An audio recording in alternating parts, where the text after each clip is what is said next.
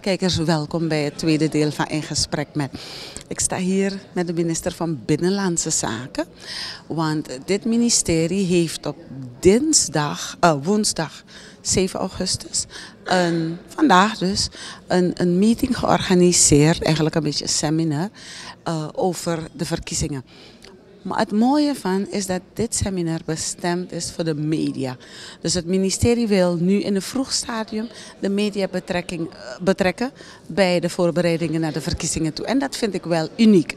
En daarom de vraag aan de minister, minister Noor Salim, waarom zo'n meeting? Waarom de media nu erbij betrekken? Ja, u zegt het zelf, het is uniek. Uniek omdat wij op basis van uh, evaluaties die wij hebben gedaan, ook met uh, verschillende stakeholders. We hebben vorig jaar samen met het OKB een um, evaluatie gehouden van de verkiezingen 2015.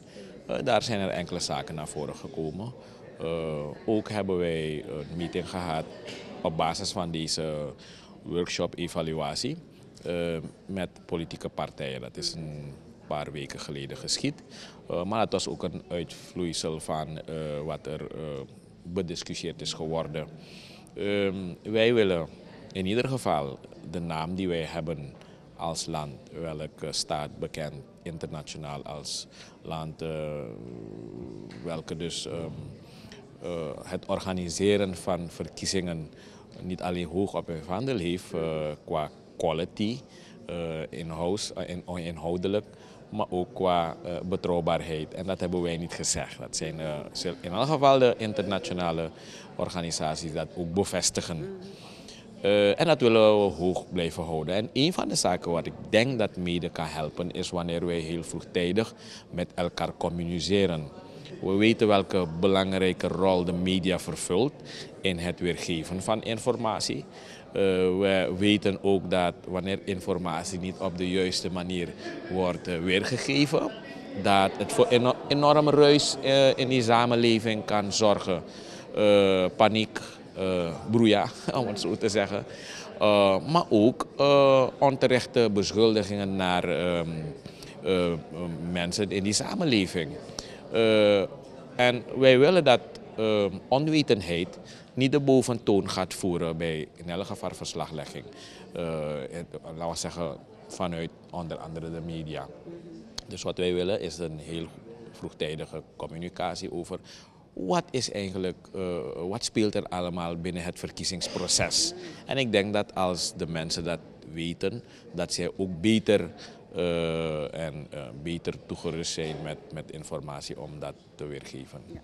En u, heeft natuurlijk al uw collega's ook meteen aangegeven van wanneer de media jullie benadert om informatie te verkrijgen, dat die ook gegeven moet worden.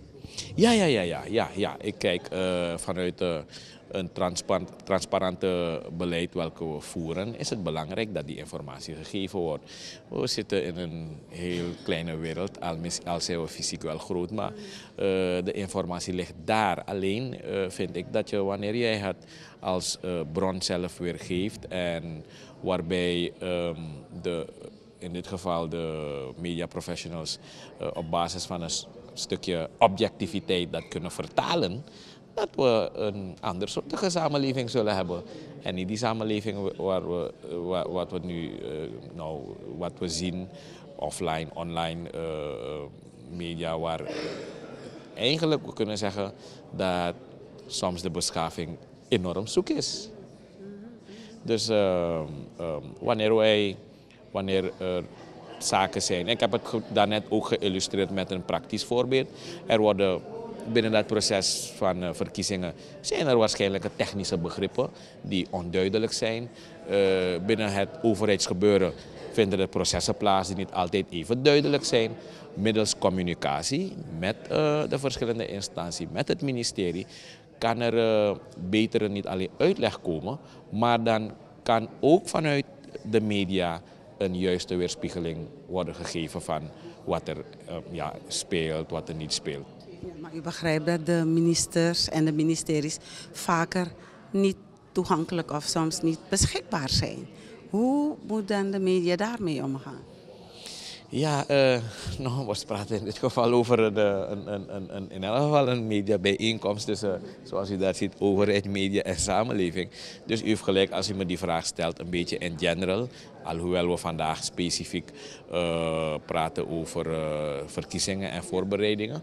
Maar uh, mijn persoonlijke mening, weliswaar, is dat wij wel als beleidsmakers zoveel als mogelijk uh, dat contact niet alleen, maar daadwerkelijk die informatie geven. En ik begrijp dat um, door de veelheid van uh, werkzaamheden die er dagelijks op de schouders rusten van uh, beleidsmakers, dat het niet altijd even makkelijk is en direct om informatie te geven.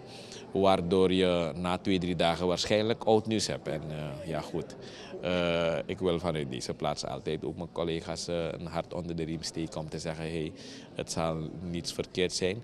Alleen heb ik al, altijd mijn, uh, mijn, mijn, mijn uh, kanttekening.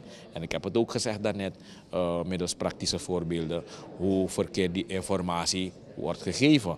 En soms heb je wel het gevoel alsof er willens en wetens hoor, de goede niet nagesproken, maar dat er enkelen zijn die willens en wetens de zaken verdraaien. En we, we zitten in een, een pre-electoraal jaar voor de verkiezingen en we weten wat er allemaal gebeurt. Dus daarom, en ik ben blij ook met de suggestie van daarnet, dat er een, een, een, een code of conduct, een, een, een, een, een, een, moet, ja, een ethische code moet komen van hey, hoe willen wij uh, ten aanzien van um, informatievoorziening, hoe willen wij ten aanzien van alles wat zijn uh, uh, binnen voorlichting, hoe willen wij dat oppakken dusdanig dat wij een goed voorbeeld kunnen zijn voor onze nageslag, onze generatie die naar ons komt. Welk voorbeeld nemen ze over? Nemen ze een voorbeeld waardoor wij elkaar uh, op podium of waar dan over uh, de huid vol uitschelden en uh, alle ethische codes aan de kant laten? Wat willen we precies?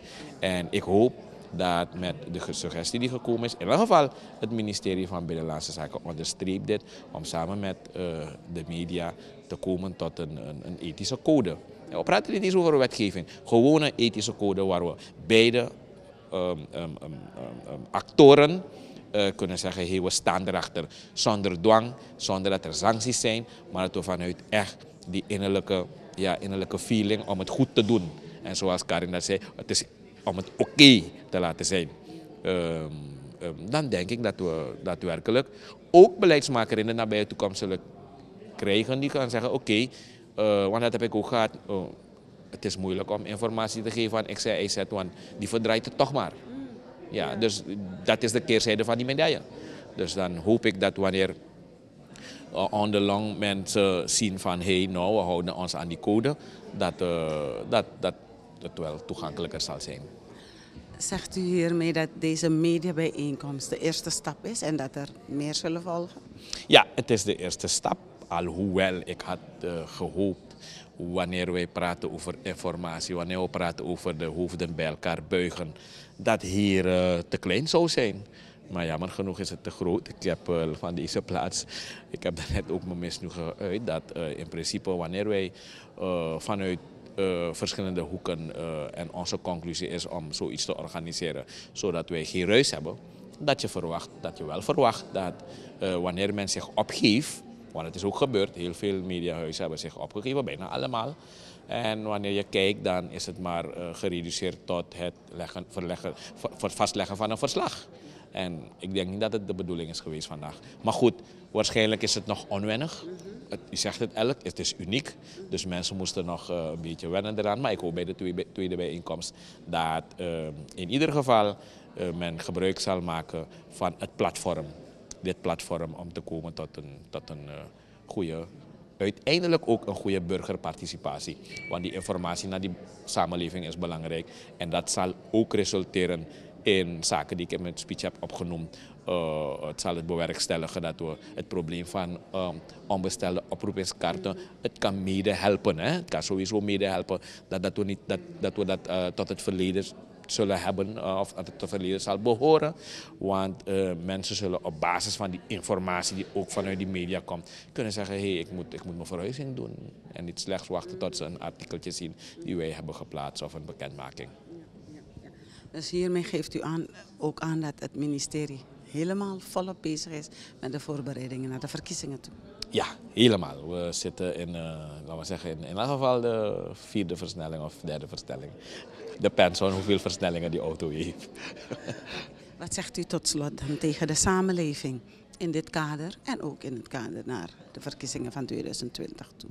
Nou, en uh, ik zou vanuit deze plaats de samenleving willen oproepen om de berichten te volgen die vanuit uh, het ministerie of via dus de formele bronnen, kanalen worden weergegeven. Omdat wij hebben gezien dat in de afgelopen periode enorm ruis niet alleen, maar verkeerde informatie van welke hoek en welke plaats het komt, dat het wordt verspreid en dat het voor paniek kan zorgen. Wilt u op de juiste wijze worden geïnformeerd, dan zijn de, de, de, is het traject er. Uh, het ministerie is er, uh, de organisatie die de verkiezing organiseert, ASV, um, um, um, laten we zeggen, die staan er ook ready steady om die informatie te geven. Hoor. Ook naar de, onze, onze verschillende mediahuizen. Dus vanuit deze plaats. En er is een verkiezingskalender. Er zijn zaken die te maken hebben. We zijn nu bezig met de voorlopige ten inzagelegging. Dat de mensen gebruik maken hiervan om in elk geval te kijken als de gegevens welke op de kiezerslijsten staan vermeld, als die kloppen en zo niet, dat u dan uh, stappen onderneemt. Zodat we voorkomen dat u uw burgerplicht op basis van iets dat fout is in een kiezerslijst niet kan, kan, kan, kan uh, uw burgerplicht niet kan uh, vervullen. Ja. ja, ja. Dank u wel. Alsjeblieft, ja.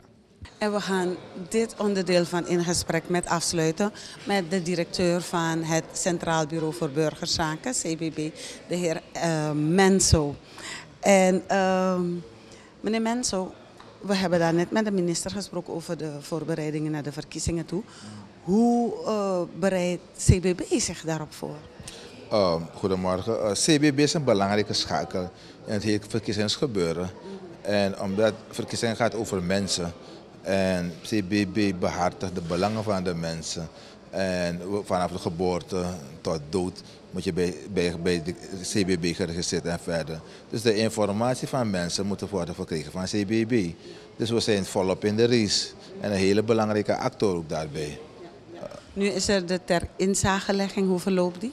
Nou, het gaat goed omdat er wordt geverifieerd om te kijken als alles in orde is, of dat de gegevens correct zijn. En dan hebben we laatstelijk ook uh, zaak gehoord over de paspoorten. CBB kan dat niet aan. Hoe loopt dat? Hoe, zit het daar? Uh, CBB kan juist dat aan omdat er is niet gebleken eh, dat niemand kan vertrekken. Iedereen kan vertrekken. Er is een stukje vertraging erbij, maar we doen ons best om het te reguleren en te ordenen. En het gaat wel, want iedereen kan vertrekken. Niemand heeft gezegd, ik kan niet vertrekken uit Suriname omdat ik geen paspoort heb. Dat is niet gebeurd. Dus we gaan verder. Met, je kan een beetje een vertraging hebben, maar dat wil niet zeggen dat, het niet, dat, dat niemand kan vertrekken, mensen die kunnen vertrekken. Het gaat maar hoe is die vertraging ontstaan? Die is vertraging met de aanvoer van paspoorten. Uh, een stukje vertraging, maar het gaat.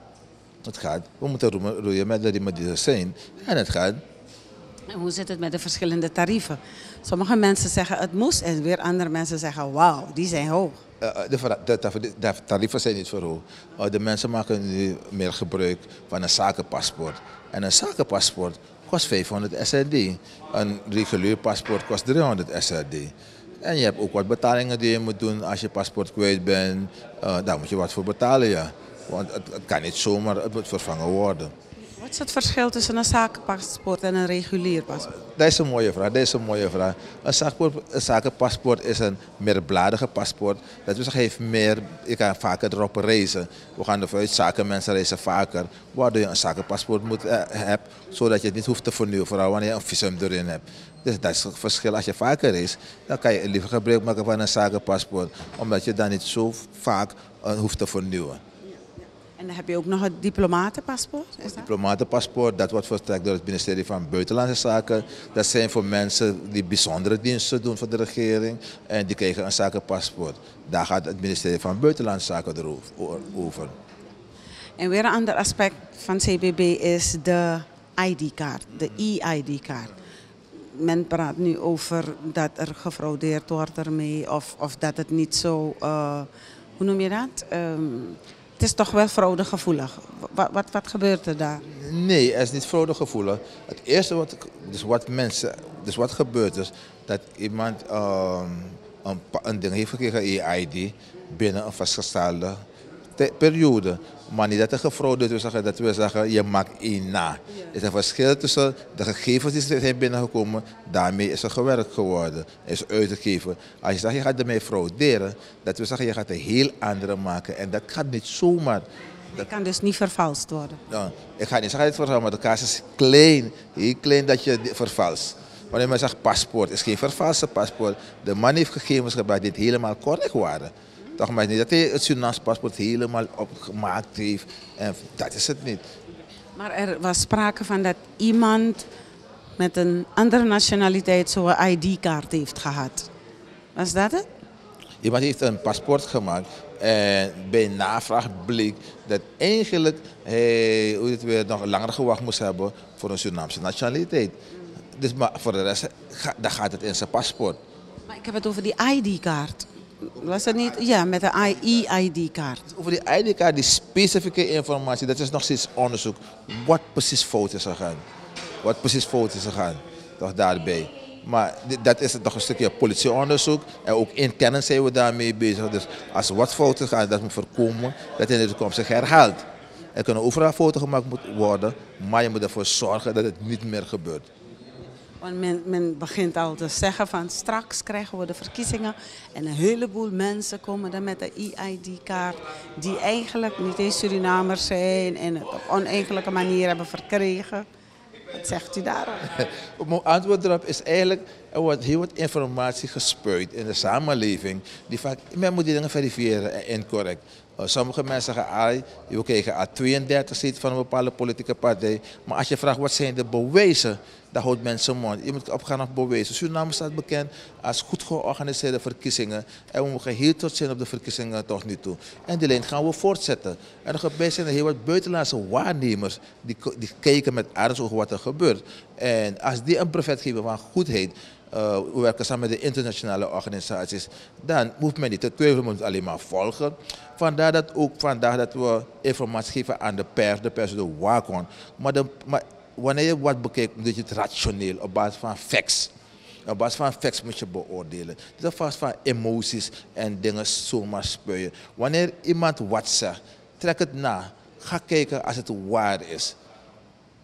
Zegt check en double check check en double check. Want als directeur van CBB zijn we er daar om te zorgen dat we ook onze bijdrage leveren. Dat we hier eerlijke, zoals gebruikers, verkiezingen krijgen. En wanneer men zoveel gegevens spuit, dan zeg je, hé, hey, maar ga even nadenken. Gebruik je je verstand. Gebruik je ratio. Controleer. Vraag en informeer. En dan ga je zien hoe het loopt. We zijn bezig. En we, en we geven de, de verzekering dat we heel eerlijke en goede verkiezingen gaan krijgen. Ja, daarom zijn we er. Dank u wel en succes. Dank u wel voor de informatie. Kijkers, dat was dus de heer Menzo, directeur van het CBB, met wie we in het laatste deel van een gesprek met hebben gesproken over de voorbereidingen van het CBB naar de verkiezingen toe. U heeft gehoord, hij zegt ze zijn ook op schema. Er is een beetje vertraging ontstaan bij uh, aanmaak, nou, bij de paspoorten. Maar dat wordt ingelopen. En voor wat de EID-kaart betreft, die is waterdicht. Hè? Nou, bijna waterdicht, toch? Ja, die, dat onderzoek loopt en we gaan zorgen dat het, niet meer gebeurt. Het is beginfase, je hebt wat kinderziektes en we gaan zorgen. Ik, ik kan begrijpen dat er wat klachten zijn, maar we gaan ervoor zorgen dat die klachten verdwijnen en dat in binnen kort tijdbestek dat, we, dat het systeem goed loopt. Nou, dat heeft u dus zelf gehoord van de directeur. Nou, uh, in het eerste deel van een gesprek met hebben we gesproken met de winnaars van de Mr. en Mrs. Tropical Beauties Suriname Contest 2019. En in het tweede deel met de minister van Binnenlandse Zaken, de heer Noor Salim, en de directeur van CBB, de heer Menso, over de voorbereidingen na de verkiezingen van 2020 toe. Ik bedank u voor het willen kijken naar deze aflevering van In Gesprek. Met volgende week woensdag zijn we er weer met een andere. Tot dan, goeiedag.